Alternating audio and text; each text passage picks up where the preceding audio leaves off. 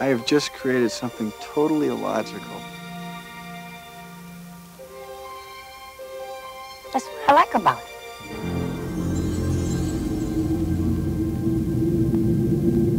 If you build it, he will come.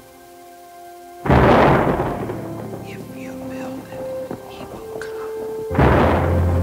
If you build what, who will come? You didn't say. I hate it when that happens. Me too. Who's hearing voices? Ray is.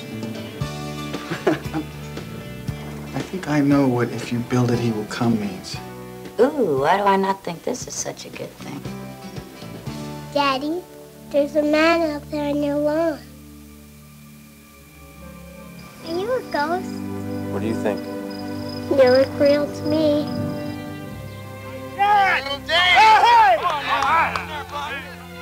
Hi. You couldn't see it.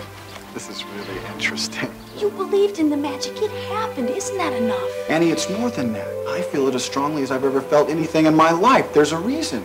Go the distance. Did you hear the voice too? Did you hear it? Go the distance. Yes. Our grave is dead. He died in 1972. Are you Moonlight Graham? No one's called me Moonlight Graham in 50 years. Unbelievable. It's more than that. It's perfect. You build a baseball field in the middle of nowhere, and you sit here and you stare at nothing. This field, this game, it's a part of our past, Ray. It reminds us of all that once was good. Hey, is this heaven? No. It's Iowa. Kevin Costner, Amy Madigan, James Earl Jones, Ray Liotta, Burt Lancaster. Sometimes, when you believe the impossible, the incredible comes true. Field of Dreams,